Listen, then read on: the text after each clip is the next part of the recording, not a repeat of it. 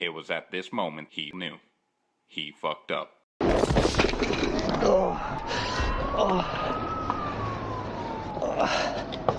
Aïe aïe aïe. Hey Bon allez j'avoue, je me suis bien amusé à faire ces petits montages. Après coup c'est assez marrant à voir, mais je me pose quand même une question. Et si j'avais pas eu de casque?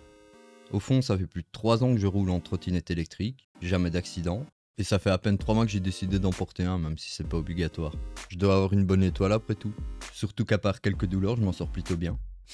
et si vraiment j'avais pas eu casque? Peut-être que je serais à l'hôpital ou même plus là pour en parler. Mais au final, on sait tous que l'important, c'est pas la chute. Oh.